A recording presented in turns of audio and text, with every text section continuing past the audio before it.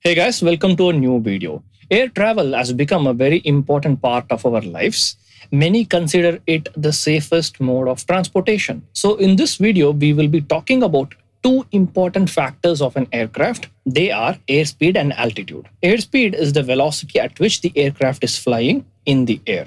Airspeed is most often measured in knots. Altitude is the height at which an aircraft is flying relative to the sea level. It's measured in the unit foot. The pitot tube is a very simple device which uses pressure difference to calculate velocity and altitude. The pitot tube consists of an L-shaped hollow tube which has two holes. The first hole is generally used to measure the airspeed by taking note of the air ram, so it's called as the ram port. Hole number two is used to measure the altitude by measuring the static pressure of the air. So it is called as the static port. The pitot tube is normally mounted on the fuselage or the wing of the aircraft. When the aircraft is stationary on the ground, in the pressure developed in the first hole is equal to the pressure developed in hole 2. So the airspeed indicator shows 0. When the aircraft is in motion, the air entering the holes causes a pressure difference between the static port and the ram port. This pressure difference is used to calculate the airspeed of the aircraft. The measurement of the altitude of an aircraft is also similar.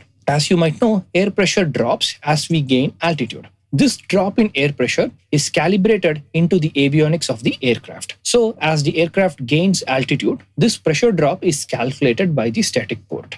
The altitude is calculated by the avionics based on the readings from the static port. Usually, there are nine pitot tubes in a Boeing 737. There are three pitot tubes in the nose of the airplane, which are used for airspeed measurement, separate ones for the captain and the first officer, and one for backup. Then there are four static ports on the either side of the fuselage for both the captain and the first officer. Then there are two separate ones for avionics. All right. I hope you guys enjoyed this short video. If you have any questions, feel free to uh, drop a comment below. So if you're someone who's interested in aerodynamics, you should check out our aerodynamics based courses on our website. I've provided some links below. Thank you so much. Bye.